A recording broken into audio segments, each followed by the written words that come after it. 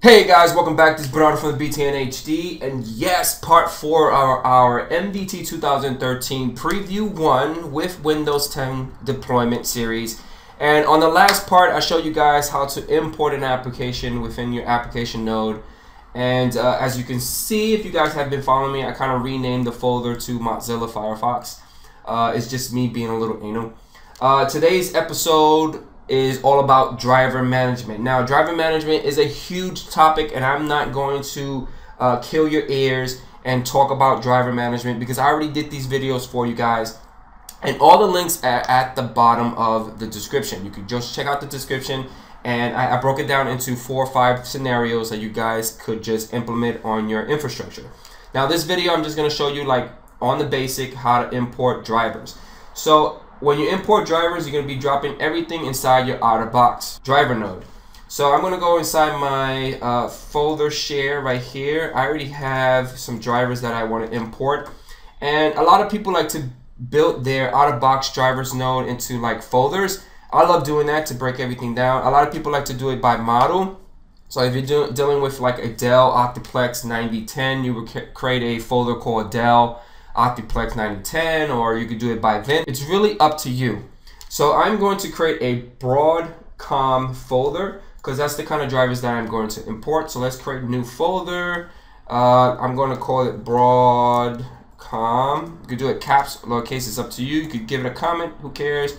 Let's hit next, hit next, and finish. So this Broadcom folder is where I'm going to drop all my Broadcom drivers into. So let's right click, import drivers. Uh, we need to pick the directory uh, source of where all the drivers are located. So I'm going to browse that. And my stuff is actually located in my share folder. And there goes. Now, if you can see, if you look closely, the Broadcom folder has 64-bit for Vista, 86-bit for Vista, Windows 7, XP, and all that good stuff. Now, because you're deploying a Windows 10 operating system, you have to get the Windows 10 NIC drivers or whatever uh, drivers you need to work within the Windows 10 environment. Now, this is only for just to show you guys off the bat. Because I'm running everything on a virtualized uh, environment, I really don't need any NIC uh, drivers for this to work. So I'm going to press OK, and I'm going to click on Next. But before I click on Next, uh, some sometimes if you want import drivers, even if they are duplicated on an existing driver.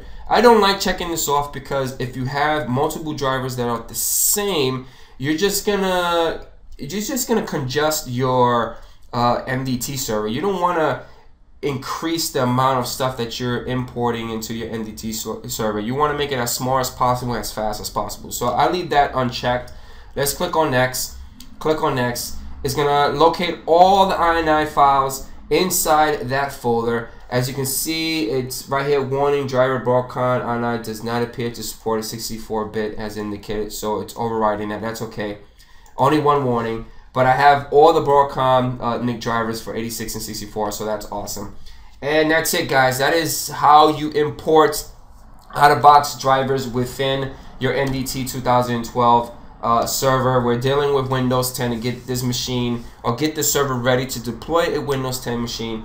Again, if you guys uh, want something more advanced, there are videos at the bottom of the video at the description part that I break it down into four scenarios so you guys could check that out. Don't forget about hitting that like button because it does support the video as well as this guy. If you have any questions, go check me out at Twitter. Follow me at Twitter because I'm always there answering all types of questions at BJ Tech News. And I catch you guys on the next one. Peace out.